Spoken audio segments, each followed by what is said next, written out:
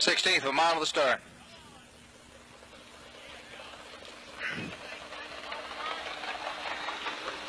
And enough. Free Cooper furthest out goes for the lead. Federal Arsenal in between horses on the inside. G.G. Garney and Heather Darrell, followed then by Hap Bob Bobby as they trot on now around the turn. Free Cooper is going up for the lead. Federal Arsenal on the rail is second now by two. G.G. Garney third.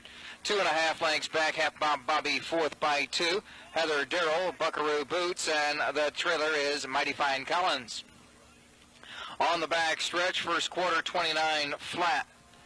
Free Cooper by a length and a half. Federal Arsenal is second by two and a half.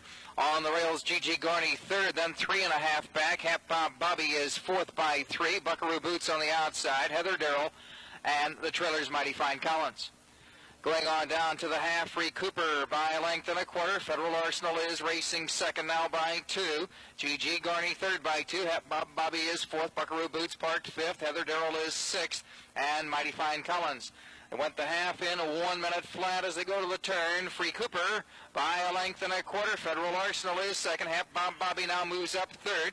G.G. Garney on the rail fourth. Buckaroo Boots parked fifth. Heather Darrell is sixth and Mighty Fine Collins goes three wide seventh.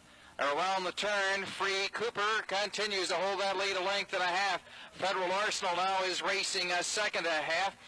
Mighty Fine Collins three wide and on the go. Hap Bob Bobby in between horses next, followed in by G.G. Garney turning into the stretch. Free Cooper in front now by two.